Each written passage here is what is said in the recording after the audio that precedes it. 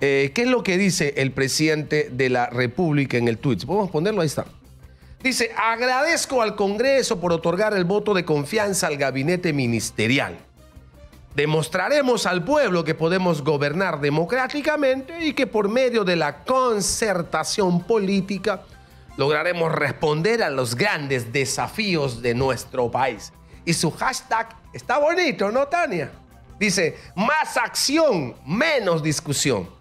Presidente, tome en serio su propio hashtag y por supuesto a ver si ya tenemos más acción.